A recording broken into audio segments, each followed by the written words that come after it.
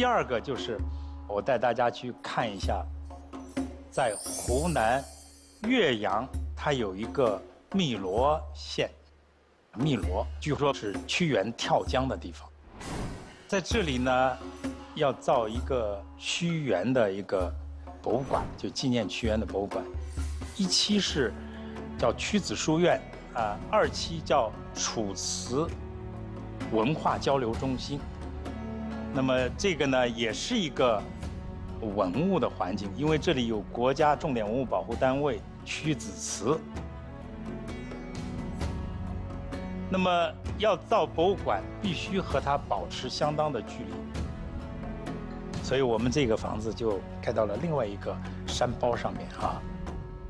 它是两组建筑，你要做一个用今天你掌握的材料去做一个新的建筑，同时它又能跟它新旧共生。屈子书院是纪念屈原的，那么你怎么去纪念他？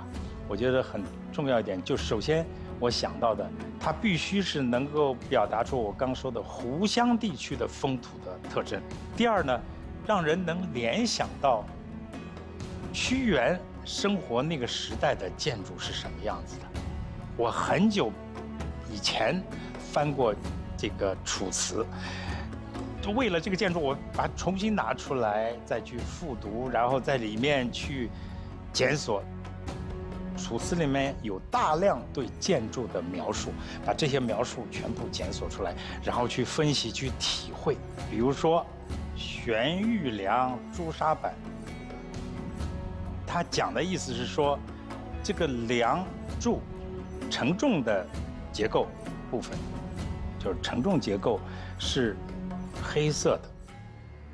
朱砂板是指的这个结构，这个房子之间的那些板材、那些板墙，因为这个地方的建筑它不是用砖头砌墙的，那时候都是用的木头，所以这个木板呢。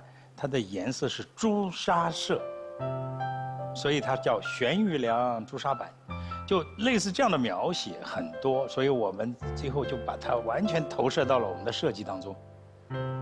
但是你从这个文字里面去体会出来，那还是隔了一层的。我们一定要在那个实物当中体会，但是屈子时代没有留下什么东西。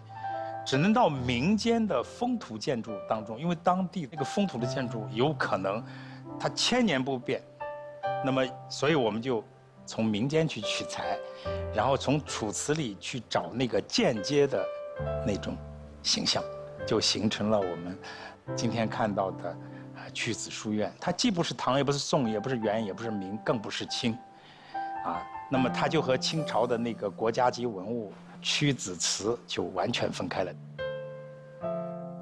我们做了一个想象当中的古建筑，我们把它叫古风的建筑，它是一个我们今天想象当中的，就是屈原所在的那个时代的那个建筑的样子。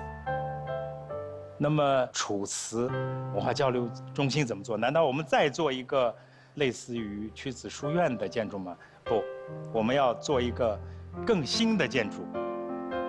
要更加体现出新旧可以共存共生，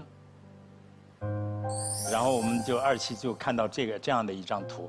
这张图呢，我们看到的那个屋顶啊，一个钢结构的屋顶，它是一个古建筑来的一个屋顶，但是已经我们把它用现代的方式去表达，把那些细节上的那些装饰都去掉了。古代我们叫。歇山屋顶，我们看到天安门城楼，那个就是重檐的歇山顶。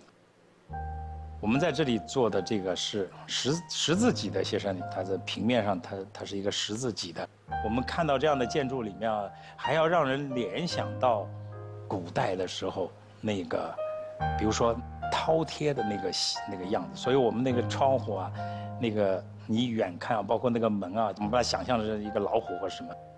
一个大嘴巴，然后这个两只眼睛啊什么的，你就会产生很多联想。